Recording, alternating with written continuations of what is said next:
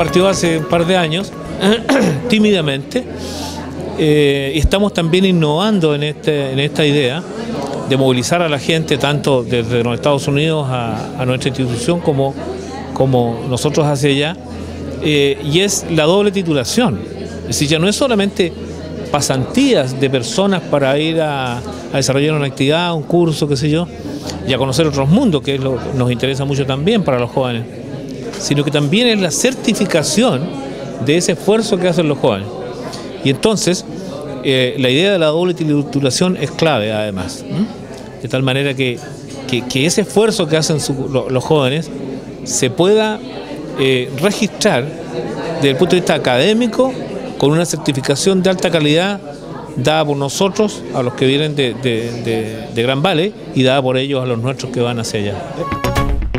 This visit uh, really establishes an opportunity for our students and for our universities and our countries uh, to uh, grow together and create a better future for our students and our countries. Uh, this particular uh,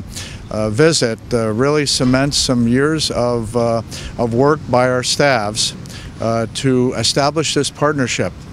And this partnership, uh, I am so thrilled to represent uh, the faculty, staff, and students of Grand Valley State University because we can learn so much from your students, so much from, from your faculty and staff that these engagements will reap us the benefits that we want. And it truly is the mission of our respective universities to shape our world. And we will do that with this visit.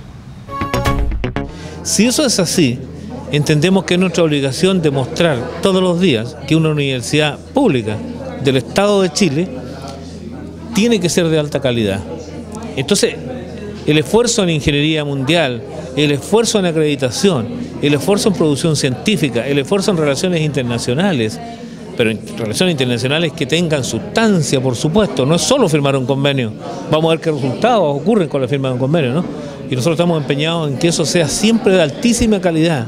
porque necesitamos demostrarle a Chile que las instituciones públicas, las universidades estatales, como digo, son una alternativa viable y de alta calidad para el país, sin desmerecer con ello el esfuerzo que hacen nuestros colegas en el mundo de las universidades privadas.